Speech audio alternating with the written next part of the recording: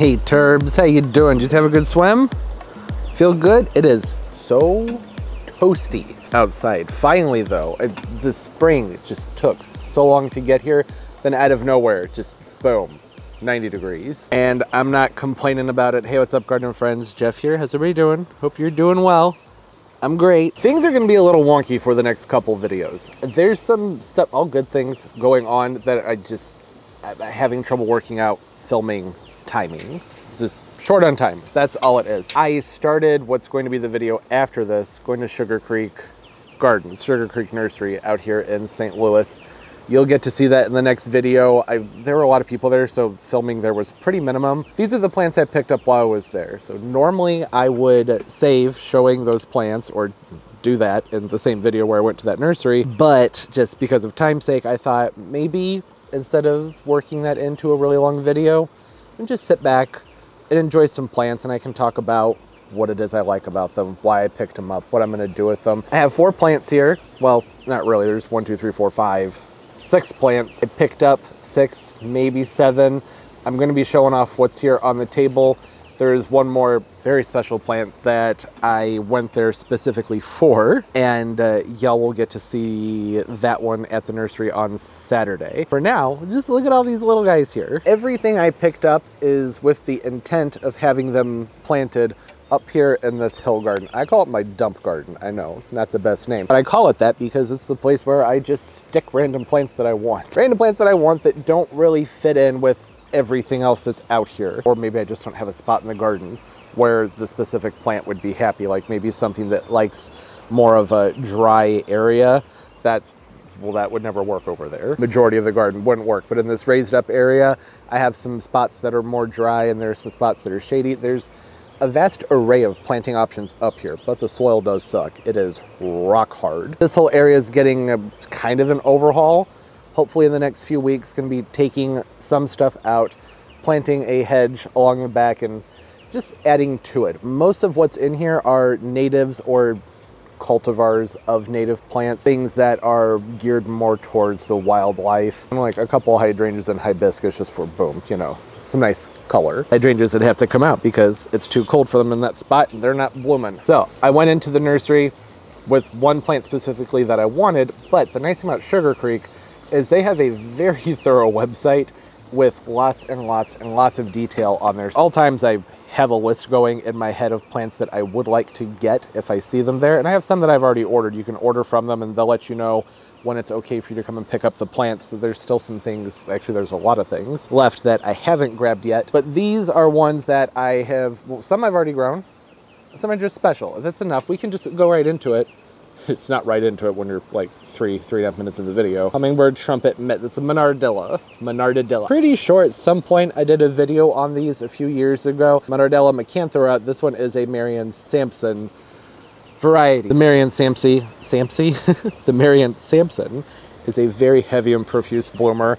They get covered, as you can see, look at that.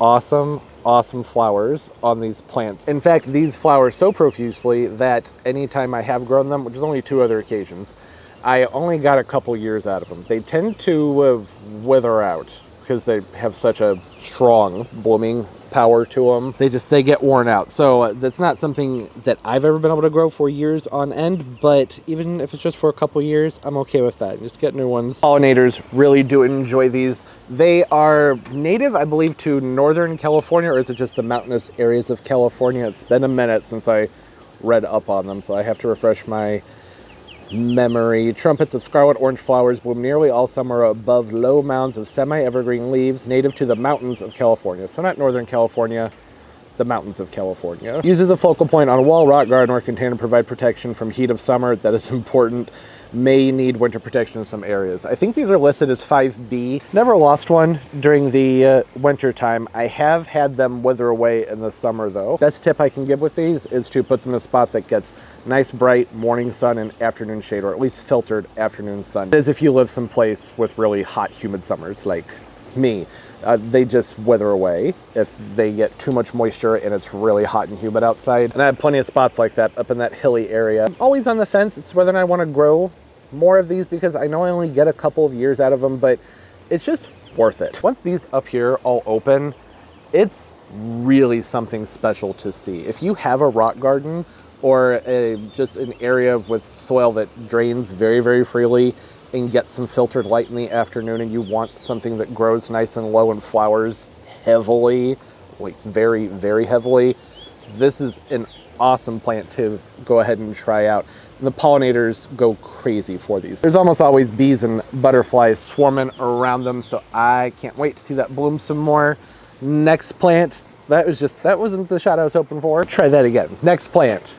There it is. This is one of the La Diva lavenders. I don't know if you've heard of them before, but they're pretty freaking cool. This one's called Big Night. The flowers on the La Diva Big Night, have like a almost a blackberry purple to them. They have nice, big, very dark bluish purple flowers on them. They will get those little rabbit ears that pop out from the very tops. Smells amazing. La Diva lavenders are a cross between the English lavenders and the Spanish lavenders. So you have nice, strong, sturdy foliage on them. Excellent heat tolerance, supposed to be good in hot, humid climates, provided that they have proper drainage. Still get some of that kind of icy blue foliage that I really like in a lavender, and those flower heads are held up nice and high above everything else. They have a great contrast, and it does smell very nice, which I know you would think, okay, what's the lavender? Of course, it smells nice. Not uncommon with a lot of the hybrids to not get the fragrance that you would want to get out of a lavender. And the La Divas still have a very nice, strong smell to them. They have a nice growth shape to them that they hold on to fairly well. Pause for an airplane. La Divas are bred for heavy blooming, hardiness, great landscaping performance, outstanding fragrance, and superior heat and humidity tolerance.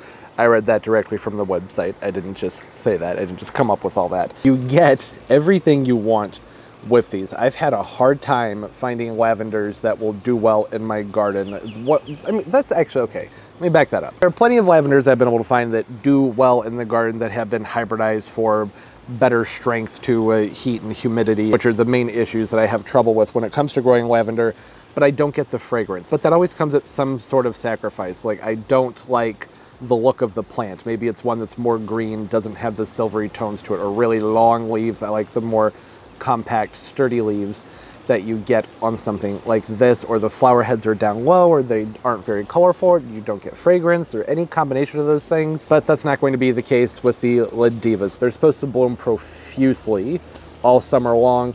We'll see about that. I'm sure it'll need some prunes to refresh the plant in order to keep it blooming properly. I don't mind doing that with the lavender. You can shear all the stuff off the top, dry it out and use it for other things. I have family members who like to have lavender around, they use it as decoration, so cutting it up, not the big deal. Okay, so here, it's thirsty. I've watered this thing three times today. The soil's moist. I tried really hard to get it looking good to film, but this one's it's just struggling. I had said that the plants I got while I was at Sugar Creek were plants that I'd wanted to get for a long time or I had been on the lookout for. That's not the case with this one. This was an impulse buy. I saw it while I was there and I thought the flowers were just beautiful on there. You'll probably want to see the picture since the plant itself isn't looking too hot right now. It's beard tongue cherry sparks penstemon. Blooms summer through fall in little waves. It's a 18 to 20 inch height on that one. I just really like the flowers on this one. Look at those, aren't they nice? Those cherry red flowers. That's really gonna help draw in the hummingbirds.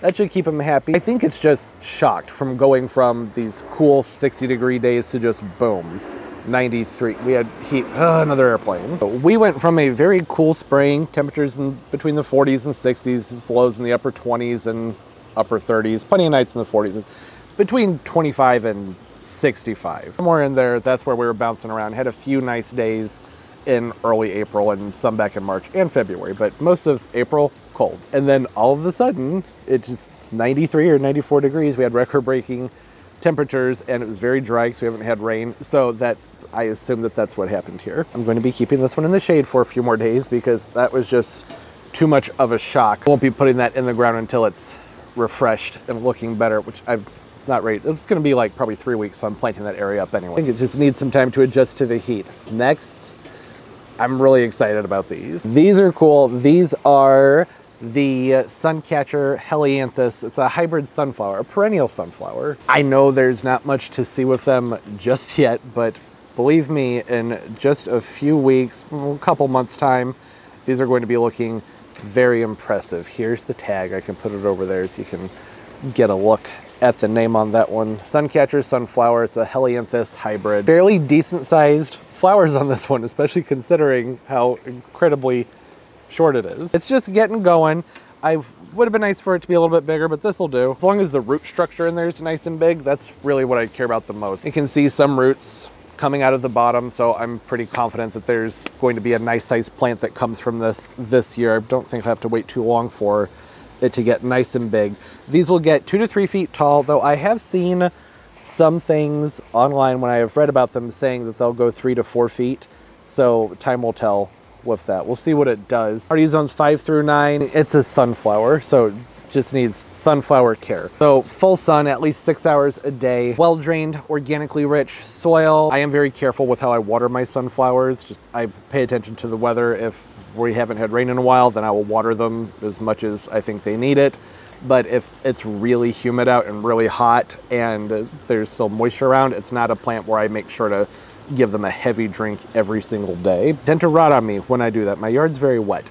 But again, up there on that hill that I was showing you, that soil drains pretty well up there. Should do fairly well up there. I have a lot of plants up over there that are very drought tolerant and uh, seem to uh, do fine with the soil that's up there and the light that like similar conditions to these. But with the perennial type sunflowers, there aren't a ton of them, but all of the ones that I've tried, I haven't really been impressed with them so far. I've read a good amount of nice, encouraging information about these. And I don't know if you've noticed on the pot here what that says.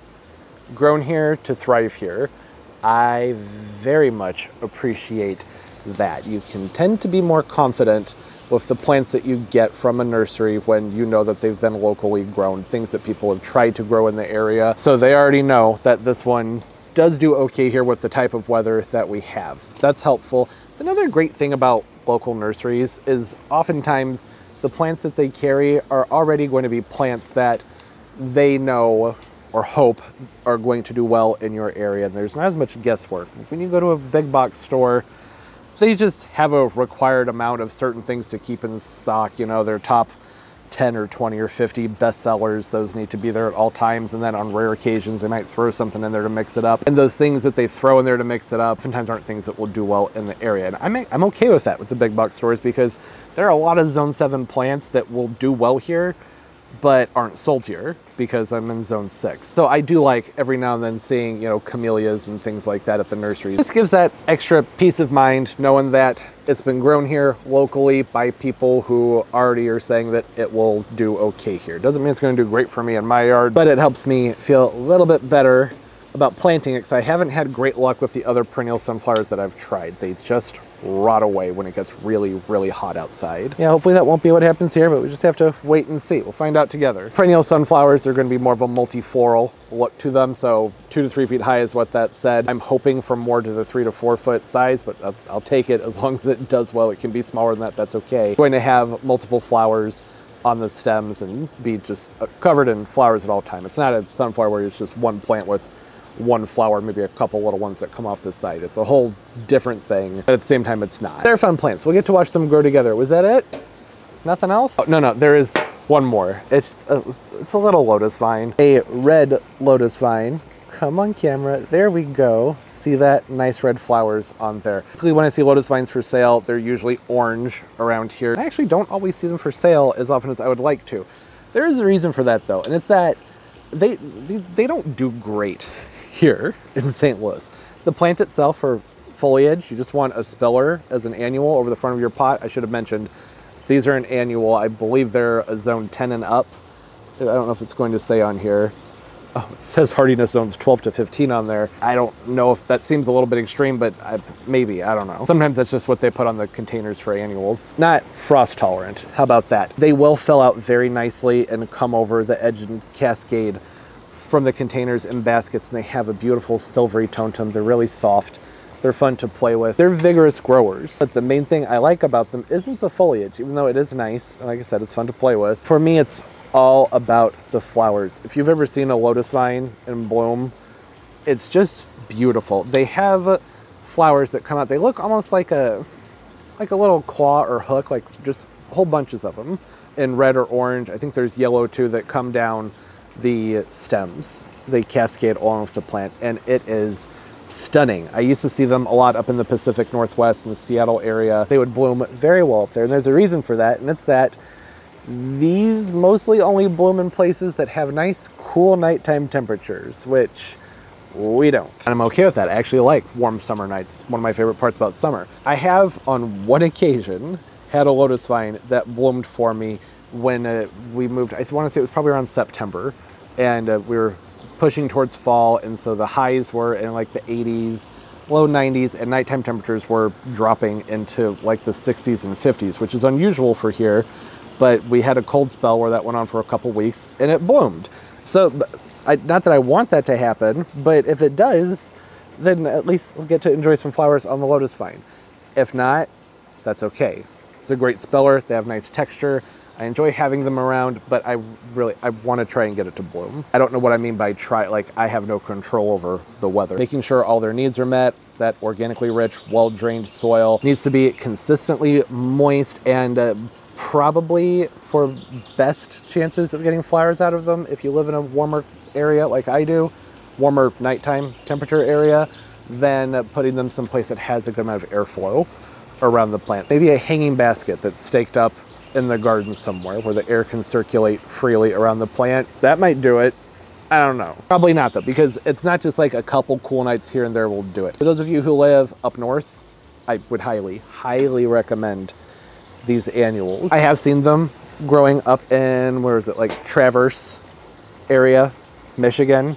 They would flower up there. It looked very nice. So all you Minnesotians and Michiganders, Wisconsiners, this might be a great annual for you that would be a good thing for y'all to comment on down in the description because I don't know that for sure other than that I have seen them growing well in Michigan, like covered in flowers. And I think in Chicago too, just covered in flowers, really big. These will get very, very big. Like this will easily fill out, I would say probably a 24 to 30 inch area by the end of the growing season where I live.